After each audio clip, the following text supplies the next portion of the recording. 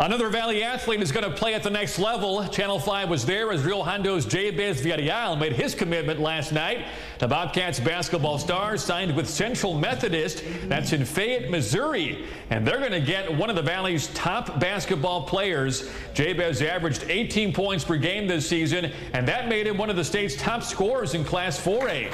Jabez was also first team all district. He was on the RGV BCA all offensive team, and he was also the RGV BCA sub 6A offensive player of the year. Jabez says having the chance to play college basketball is a dream come true.